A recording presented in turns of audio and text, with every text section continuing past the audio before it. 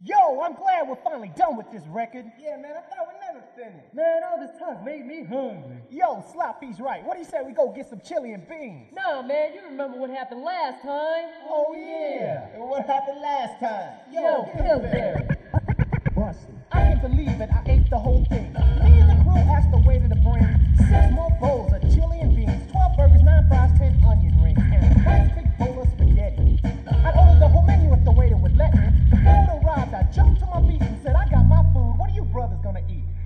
Everyone thought I was joking. But when I finished, my knife, fork, and spoon was smoking. All of a sudden, things started shaking. The room from my stomach felt like a 9.6 earthquake. That was just the beginning of the night. The next thing that happened filled my crew with fright.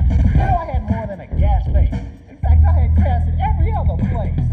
Yo, Pills, is that what really happened? Money, you ain't heard nothing yet.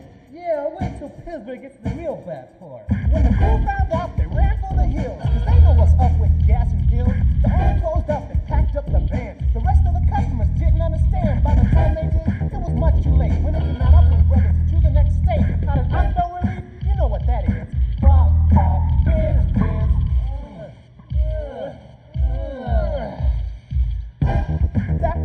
Better. I feel so good, I think I might get a four bowls of chili and beans. Sloppy said, forget it, you know what I mean?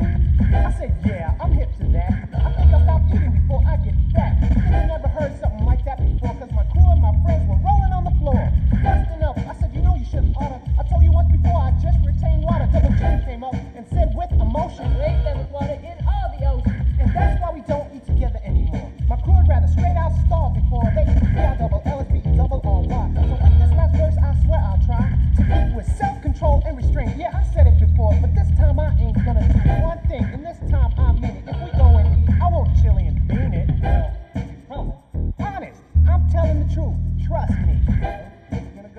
Let's go to Jose Lee's. All you can eat joint. All right, let's go. Pillsbury Street.